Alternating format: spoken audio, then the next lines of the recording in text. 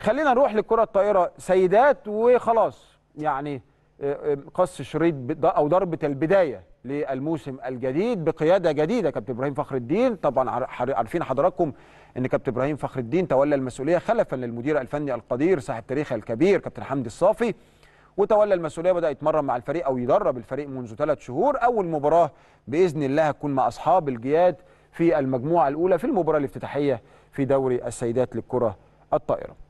الماتش ده هيكون بكرة بإذن الله الساعة 4 العصر على صالة الشهداء في النادي الأهلي بمقر النادي الأهلي بالجزيرة.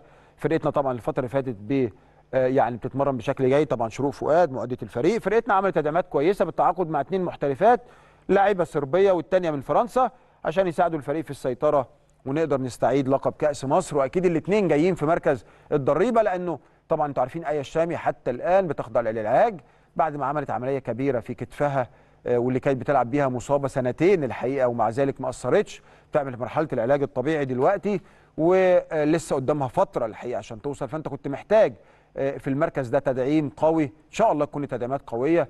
آه، كابتن إبراهيم فخر الدين بيمر الفريق فاصل الفريق عن كل شيء. إن شاء الله الفرقة تعمل شكل كويس. أنا عايز أقول لكم وأفكركم إن الفريق هو بطل الدوري طبعا السنة اللي فاتت بعد غيابات كبيرة منه في البداية ولكن استطاع إنه يفرض كلمته ويفوز بالبطولة بطولة الدوري. لم يوفقه التوفيق في الكأس وما شاركناش في أفريقيا. أتمنى السنة دي إن شاء الله أن الأمور تعود آه، إلى سابق عهدها. واللي بدأ بيه طبعا مسار التصحيح اللي بدأه مجلس إدارة النادي الأهلي وأيضا- وأيضا إدارة النشاط الرياضي عشان يحط الفريق سواء الرجال أو السيدات على آه، الطريق الصحيح.